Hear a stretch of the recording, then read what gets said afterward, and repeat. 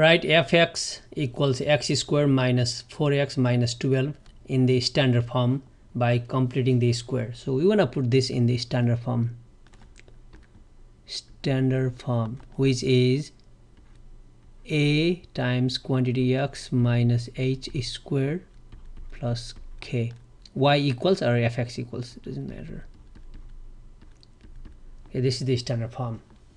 So we need to complete the square and recall whenever we have x squared plus bx plus something to complete the square all we have to do is add half of b squared. Okay half of b squared. So b over 2 quantity squared. And when we factor we get identical factors and it becomes quantity squared. That's x plus uh, this plus or minus i mean this is plus and b over 2 if this is minus we would have minus b over 2 okay that's always the case. So let's go here.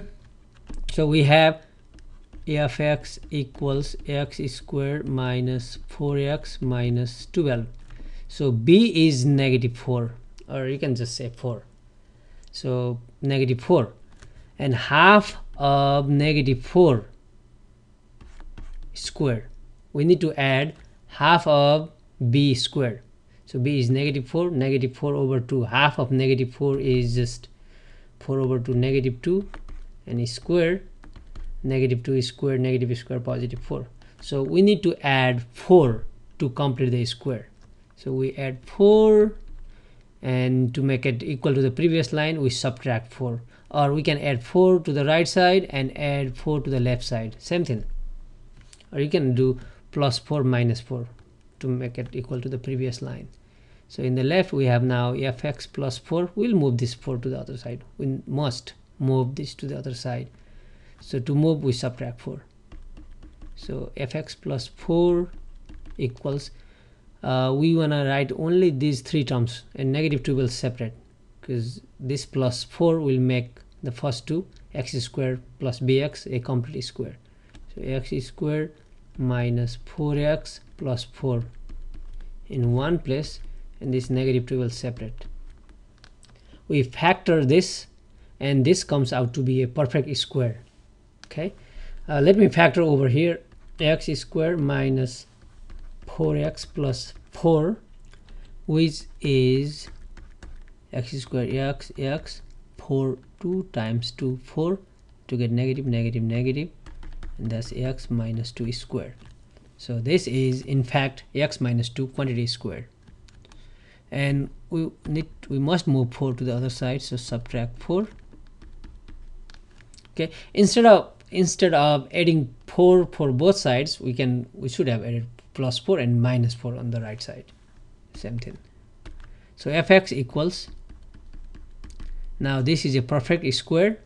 We get x minus 2 quantity square minus 12 minus 4 we combine minus 16 so this is in the standard form. So this is we wrote we wrote, we wrote this in the standard form.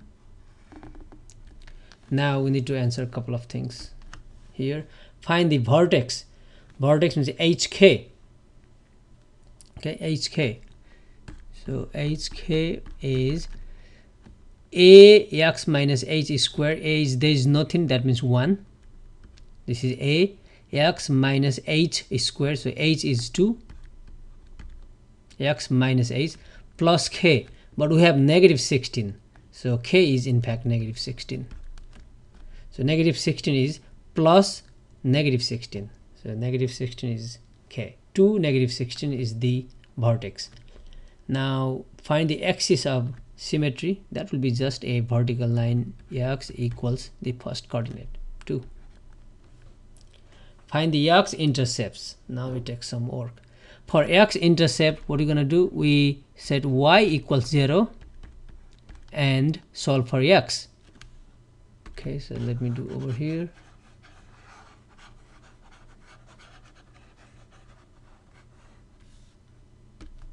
y equals 0 that means in the function y is same as function. So function equals 0 equals x square minus 4x minus 12 now we solve this for x so 0 we can write 0 on the other side.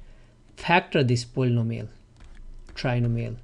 X square x x 12 6 times 2 12 to get negative 4 negative 6 plus 2 and this factors gives us x equals 6 and this gives us negative 2 so the x-intercepts are 6 and negative 2 find the y-intercept so we set x equals 0 into the function.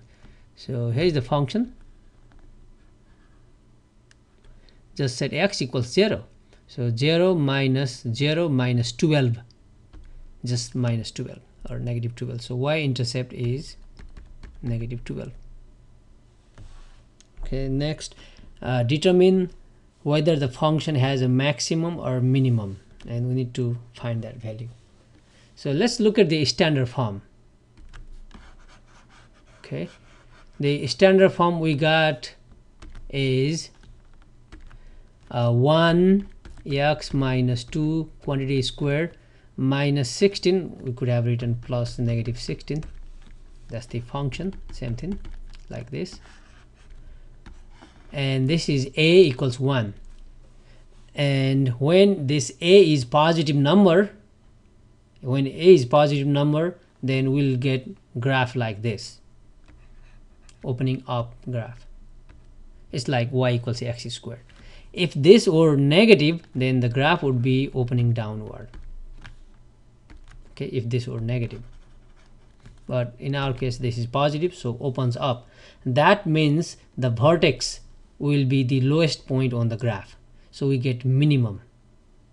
So we get minimum. The answer is minimum. And the value value means maximum minimum always the y coordinate. And look at the vertex. Vertex is 2 negative 16 so negative 16 is the minimum value. So that will be minimum. And the minimum value is negative 16 and finally it asks find the range of f so when we graph I don't know the graph but it will be something like this. The lowest it can go is negative 16 so I don't know somewhere some I mean this is not correct graph anyways.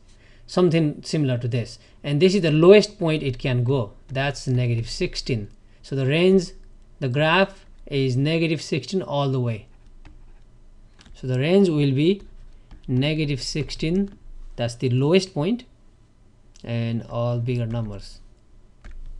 Okay final